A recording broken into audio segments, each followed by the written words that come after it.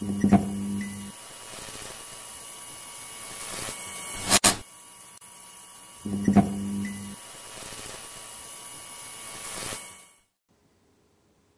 good everybody? Pete here at Spawn Fly Fish and I know it's hot outside, the water's low, it's kind of tough fishing. So let's cool off, start thinking about some future fishing and by that I mean coho. Grab your stuff, we're going to have some fun on the vise today. Alright, so in the vise today we've got the SA254 from Ahrex. This is a sick hook. Look at the hook gap on this thing. Huge. But the beauty is how strong this hook is. So for the bead, got a 7.5 millimeter bead there from Spawn. This is one of our football beads in the hot pink. Can't go wrong. So now I've just got some .015 non-lead wire. And I'm, I'm just going to get about 10 wraps, maybe 12 on here you know, a, a, fly this size, this isn't going to do anything as far as adding sub, uh, substantial weight by any means. However, it's going to help me position that bead and lock it into place. So just trim both the front and rear cut, roll that over with your scissors, and you won't shred that thread when you start tying. Alright, just jam that into the back like so. We're ready to get started. And so, for the thread today, let me get some of this I've got loose rabbit falling all over the place, so bear with me. But for the thread, I've got some Veevus 140, and this is their fluorescent hot pink. So, what we're tying today. I already already kind of teased you a little bit, talking about some coho. I just want you guys to all take a break from the heat and monotony and humidity and whatever you're dealing with and look forward to some fun fall fishing, especially if you have access to salmon and steelhead. But what we're going to do today is kind of tie an adulterated version of a simple bunny leech. Last year this was one of my favorite color schemes and it's going to involve some blues and pinks and all that good stuff.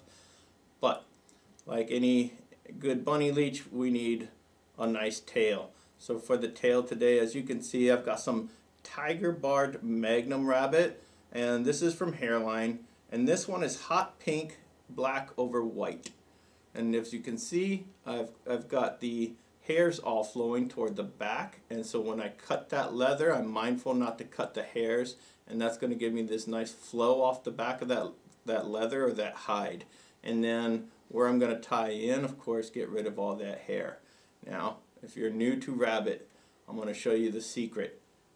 This is a little container of water. So I'm just going to dip my finger in there and if these these hairs start to get unruly I'm just going to run that through my wet fingers and now they're under control. So as you can see I've measured this so that where that hair is trimmed off this is just slightly longer than one hook length and that's perfect for what we're trying to do. I'm going to tie this and keep in mind, you're on a jig hook here. I'm going to get this started. What I do want is to make sure this rides like this so that it's in line with the hook shank. I don't want it off to one side or the other. And so once I've solidified that, I'm really going to put some pressure on these, these next series of thread wraps here. I don't want that leather shifting, moving, sliding, any of that. And there we go. It is not going to move at all. Alright. Nothing crazy so far. As you can see, that's going to have a nice drop off the back of this jig hook and that movement along with that coloration. Woo, good luck finding a coho that says no to that. Alright, so at this point in a typical bunny leech you'd come in and throw a little flash. We're going to do it a little differently.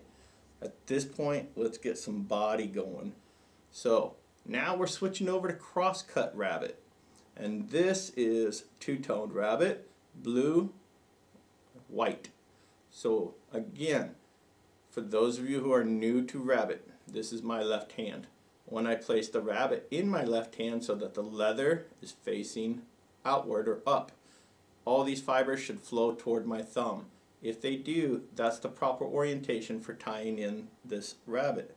again, I'm going to go over to my water, get my fingers wet, and I'm going to pull this strip through my fingers. And I've already cleaned this one, but you see I'll still get a couple fibers out of there. But the main thing is I'm in control of this rabbit now. It's not going to fly all over and get onto every little thing that is possible inside of your tying room or wherever you might be twisting up some bugs. Rabbit hair gets everywhere. Alright, so there we've trimmed the, the fur off of the tip and I'm going to place this down so that again the leather is looking at me, it's looking up and that's because when we start to wrap this it will force the hairs to all come off around the shank and not against the shank. Be a, a really ineffective bug if you go the wrong way. So just pay mind and, and be attentive to that.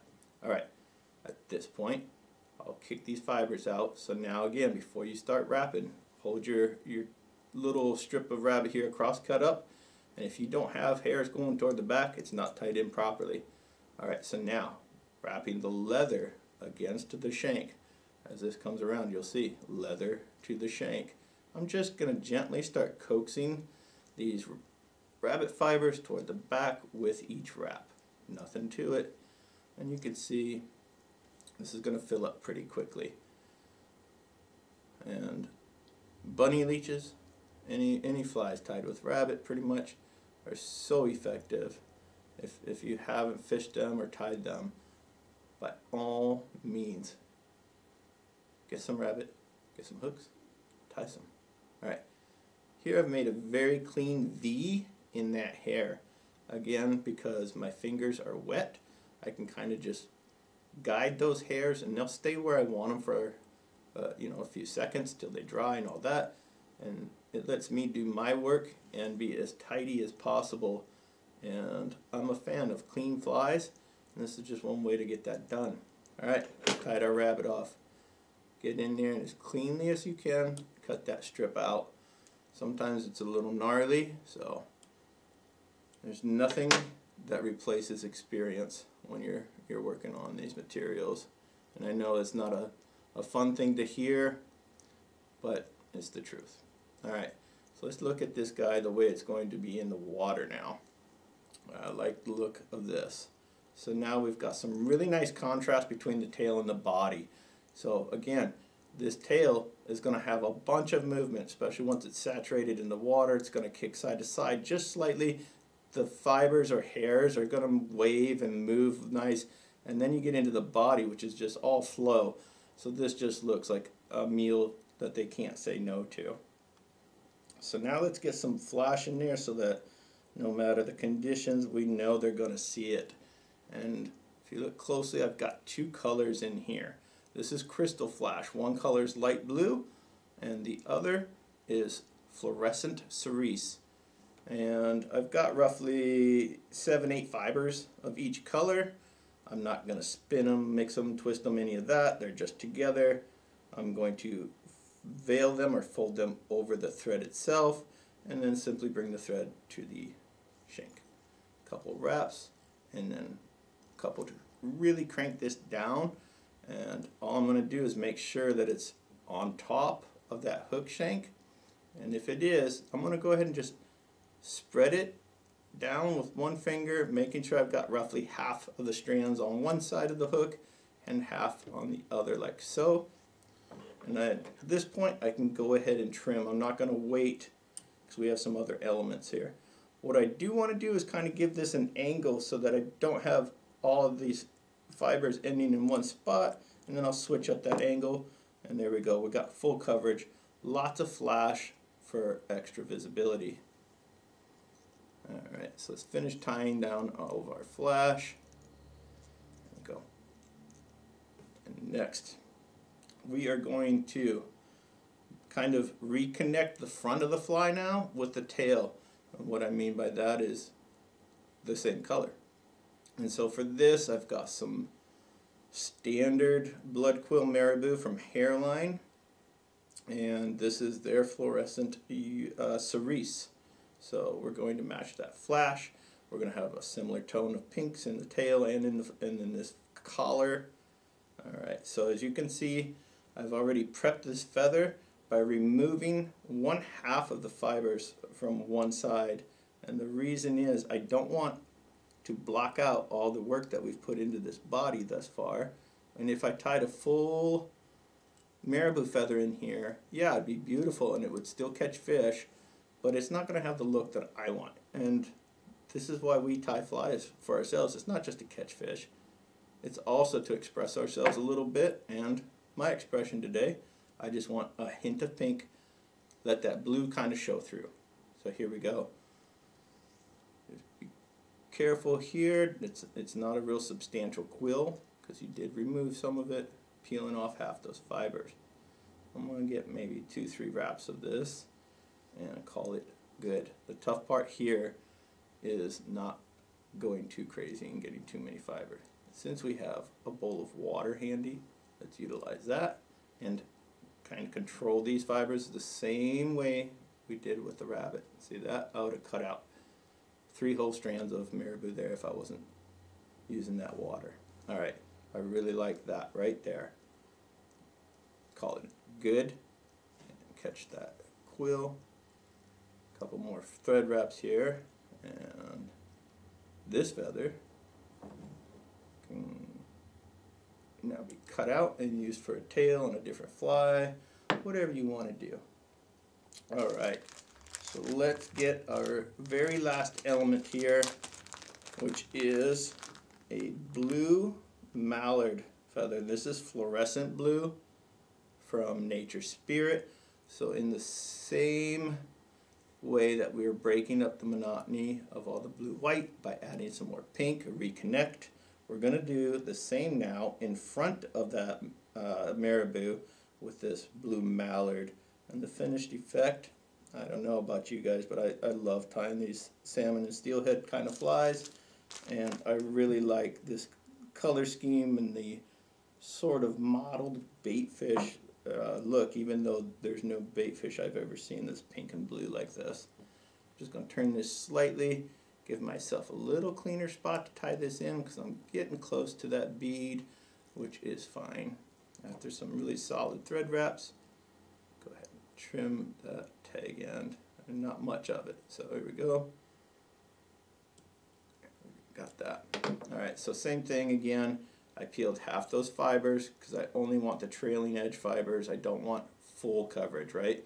Don't want to break up, but just want to break up. We don't want to cover up. All right, and if you simply pay, pay attention to where that quill sits, and if you can get the inside of the quill to face the shank, those fibers are going to hug whatever you previously wrapped, as compared to if you get the quill on its side, and then you get some fibers that'll stand up away from the center more. So whatever you're looking for, there's probably a way to do it. Turn that and catch this quill right behind the bead. And now we've filled up that, that all that space pretty well. And let's trim this quill out. Oh, oh, oh yeah, that's fishy. That's, that's a screaming coho already. A little TLC on some of those fibers and then I'm going to really solidify this thread neck here these flies, I mean, if you've never caught a coho, they're, they're pretty strong, they're pretty nasty, and they don't like that fly in their mouth. They're trying to chew on it, get rid of it. So make your flies as strong as you can. Alright, so oh, I'm trapping one little fiber there, but I think we'll be okay. I'm going to give it a second whip finish now. Again, stronger is better on this one. Now is not the time to shy away. There we go. Like so. That's, that's tough. Boom. Alright, let's finish it off. We've got some loon hardhead clear here. And we're just going to cover all these thread wraps very carefully. We don't want to start drifting into our fibers of those feathers. We took so much effort to make them look nice. Let's leave them looking nice.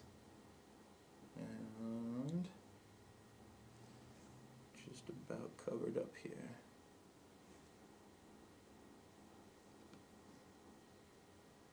Alright, I like this. Very nice, if I do say so. Alright, so there you have it.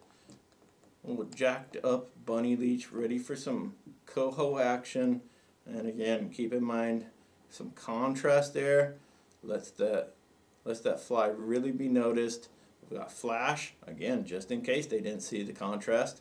And then all the movement from the rabbit combined with the marabou and that little mallard kick at the end. There's, there's not much more you could do to, to get yourself ready for success. So I hope you guys enjoyed this one. If you did, please smash that, that like and subscribe button. And we will see you guys on the water.